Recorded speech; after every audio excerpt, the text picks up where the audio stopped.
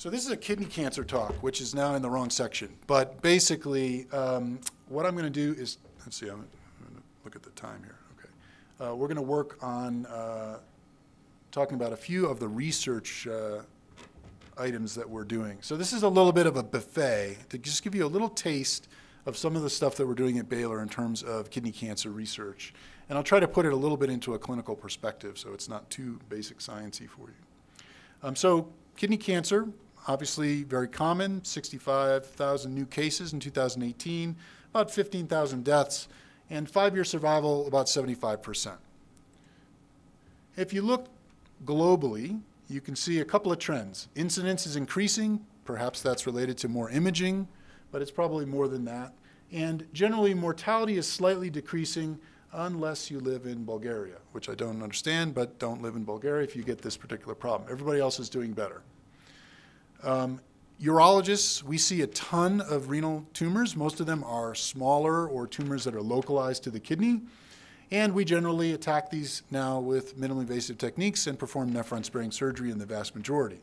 We've seen a change in the standard of care for treatment of this from radical nephrectomy for everyone to partial nephrectomy only for absolute necessity to partial nephrectomies for most T1A tumors to essentially elective partial nephrectomy for all resectable T1 tumors in patients not suitable for surveillance. And if you look at tertiary referral centers, you see about 85% uh, are being done with partial nephrectomy at this point. There are some challenges, though, in teaching that, and, and uh, Dr. Sony talked about that a little bit yesterday.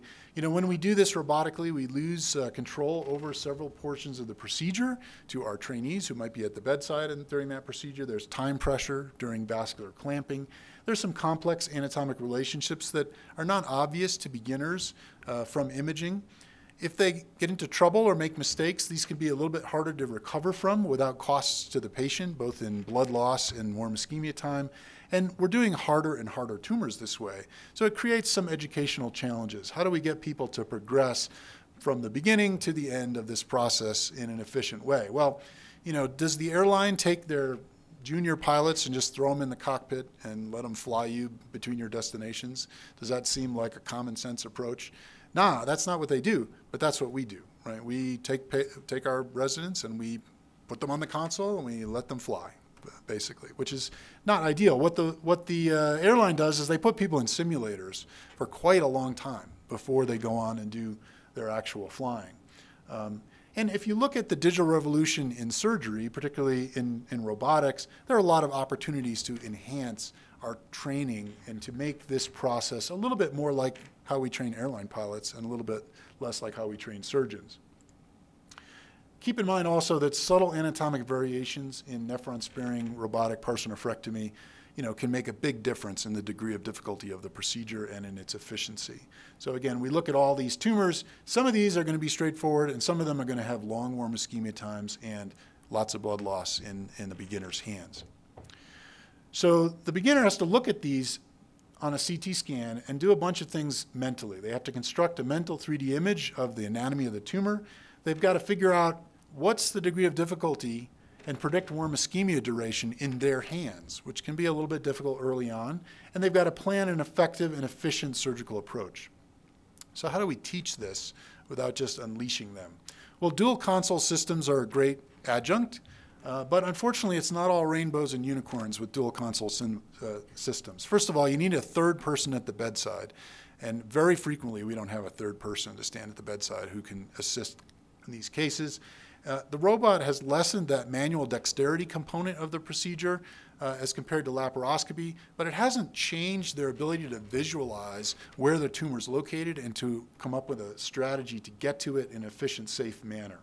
Um, so this is not the perfect solution. So I'm going to touch on three projects today. Two are going to be related to this topic. Um, we're looking at can we use uh, new technologies like 3D printing and volumetric reconstruction to help train people or to help perhaps do pre-surgical rehearsal for complex cases. So we can take CT images and convert them into uh, 3D uh, uh, volumetrically rendered models. We can manipulate those models. So for example, we want to remove the tumor. You can look in and see what's at the bottom of the tumor. It's not as easy to do that in your brain just from looking at a triphasic CT.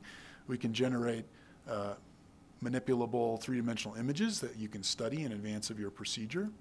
We can also turn those 3D volumetric reconstructions into physical models. So that can be a physical model like this that just allows you to handle the, the kidney. And this is a patient-specific tumor model, so it's relevant to the patient you're operating on. And then we've collaborated with a group called Lazarus 3D and have come up with a system to convert these into a soft material that's, that simulates uh, parenchyma for the kidney. So you can actually make a soft model of the kidney with the patient's tumor that you can then operate on prior to operating on the patient. So this is just an example of that. Here we have a patient's model and then the patient's surgery. And as you zip along in this, you can see that it's a very similar, without the bleeding, a very similar uh, mechanism to practice resection of that tumor. Again, this is a patient-specific uh, process. So we did a study looking at this. We had a series of patients that we imaged. We reconstructed their kidneys, printed them, and silicone cast them to make these flexible models. On the day of the patient's surgery, I resected these, uh, the model first, and then immediately resected the uh, tumor on the kidney and we then laser scanned the specimens from both the model and the kidney tumor. Uh, and this shows that there's fairly good fidelity of this model. So if you look at the time of resection, time of, of tumor resection, very similar between the model and the patient, not much difference. Uh, if you look at the specimens, uh, you can see that we're resecting a very similar shape and volume of specimen in, in the model and in the patient. Again, if you look at what the computer predicted, what we resected in the model, and what we resected in the patient, they're very similar. So this shows that uh, this is a fairly high fidelity model. I do think that using this to pre-surgically rehearse very complex cases, even for experts, can be very valuable. I definitely changed my approach to several of these patients during this study after doing the resection of their original uh, model. And I think there's some value in this approach uh, in training trainees, particularly in a patient-specific manner. So what about virtual reality simulation? Um, can we throw goggles on people and get avoid all this making of 3D models? Um, well, maybe this is the future. Obviously, when we're doing things robotically, we have access to simulators. Um, we wanted to study this mostly from the standpoint of how to teach people to visualize the tumor and its relationship to adjacent structures and, and structures in the kidney. Um, so what we did is we selected three patients with different tumor locations. We 3D reconstructed these built models, and then integrated them into a simulator. This is a simulator made by Mimics, uh, and we collaborated with them on this project.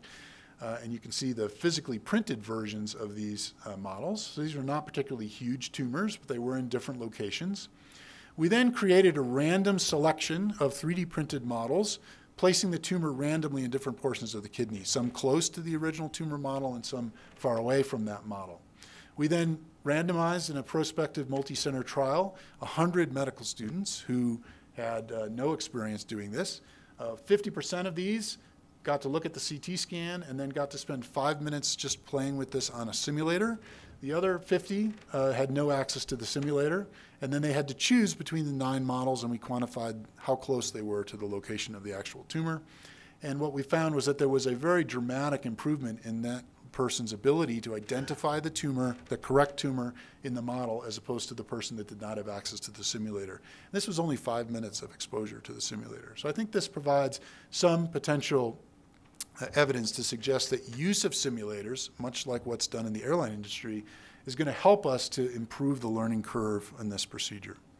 So for the last section of this, I'm going to switch uh, gears rather abruptly. I'm going to talk about engineering an animal model for papillary renal cell carcinoma. So, you know, urologists, we're winning the war on kidney cancer, right? I mean, we take our patients to the operating room, we remove their tumors, and 90 plus percent of them do well. So we're all doing great. Unfortunately, that's not quite true. As, uh, as Dr. Soni mentioned yesterday, only about uh, two thirds of the patients that we see present with localized disease. And for the patients that present with distant disease, they have an abysmal survival rate. So five-year survival for patients with distant disease at presentation is only 12%. So that makes us a little bit sad. You know, it's been an amazing decade in renal cell carcinoma. And we've seen this uh, progression of new targeted agents that's exploded over the last decade, making a nice toolbox. But the toolbox looks a little more like this at the moment. Uh, it's a bit of a mess. We really don't know which agents to use at what time and in what patients. Uh, and it's a difficult question to answer because some of these uh, tumor subtypes are not common and it's difficult to run these clinical trials. So we need a better understanding of which tools to use, when to use them, singly and in combination, and perhaps, perhaps um, have some new tools. And this is particularly true in the non-clear cell renal cell carcinoma cases if we're going to affect this, this terrible number. So targeted therapy depends on an understanding of the genes involved in renal cell carcinoma tumorigenesis and progression and the pathways involved in that as well. So how do we figure that out? Well, one way to figure out how a car accident happens is to do something we'll call forensic genetics. This is what the, the TCGA does. Um, what they do is they go out and they have a hypothesis. They think, well, maybe the mirror was the problem. Maybe that's what caused the accident. So let's go out and sequence all the tumors that we find. Turns out you have to sequence a lot of tumors uh, to find uh, a decent statistical analysis. And perhaps out of all these car crashes, a subset have a broken mirror. But perhaps only a very small subset of that subset was the mirror the cause of the accident. So you can see how trying to identify causality here is going to require a huge effort in terms of tumor uh, sequencing. Um, and what you get are things like this. This is an example from chromophobe renal cell carcinoma. Uh, you get a cloud of small frequency events and a few higher frequency events, but none that are ubiquitous across all tumors. And so how do you interpret this? How do we know which of these is really responsible or which combination is responsible? Which should we be targeting for our treatment? That makes a little bit difficult. Okay, also remember there's tremendous tumor heterogeneity, intratumor heterogeneity. So the TCGA is sampling primarily just a single focus of these tumors and multiple foci within the tumor have different genetic mutation profiles. So we've got a little bit of a problem there. We've also got multiple subtypes of renal cell carcinoma uh, which can cloud this as well. So an alternative is to do something called functional genetics. So instead of doing this approach of just sequencing a million tumors, why don't we just break the mirror in a bunch of, uh, of kidneys and send these out into, the into the uh, highway and see which ones crash. Maybe we break a few other things at the same time. Um, this gives us a little bit more of a causal versus a correlational link to an outcome. And this is what we'd like to be able to do in renal cell carcinoma. I'm going to focus today specifically on papillary renal cell carcinoma. Why? Well, first of all, the, the vast majority of research is in the clear cell category. Um, papillary renal cell carcinoma research tools are really sorely lacking, and we don't really know how to treat these patients. And so this is a, an area where it's very clinically relevant. It's 15% of all the uh, RCC cases, but there's a lot of variation in papillary as a subtype lots of histologic variation and a lot of mutational variation. And these particular uh, variants behave differently. The problem is we don't have any model systems for papillary renal cell carcinoma. We don't have any animal models for the disease, and we have very few cell-based resources. Xenografts uh, from papillary renal cell carcinoma patients have very poor take rate, less than 15 percent, uh, and have to be grafted into immunodeficient animals, which can be an issue. Why, do, why does that matter? So what is a PDX? So here's an example of a human tumor that's harvested, injected into either orthotopically or into the flank of a mouse, and then you can passage these tumors through the mouse. The problem is that only a small proportion of them actually take in PDX models, and usually they tend to be the more uh, nasty tumors, the ones that are more dedifferentiated. And then when they go off into the dish for manipulation, when they come back to the animal, they may not be the same. They may not be as good a model for the human disease. So this is not ideal. We can do this very nicely with cell lines. This is an example where we've taken human cell lines with renal cell carcinoma and just injected them into the flank of immunodeficient animals. And you can make nice tumors that look a lot like the human uh, counterparts. Uh, again, but these are transformed cell, line, cell lines from clear cell. So what would we love if we could get the best possible model? Well, we'd like a genetically engineered mouse that we could use for in vitro and in vivo work. We'd like to have accelerated mutagenesis because these mice don't live to be 70 years of age and we don't live to be 170. So we'd like to have something tumor-wise before we retire.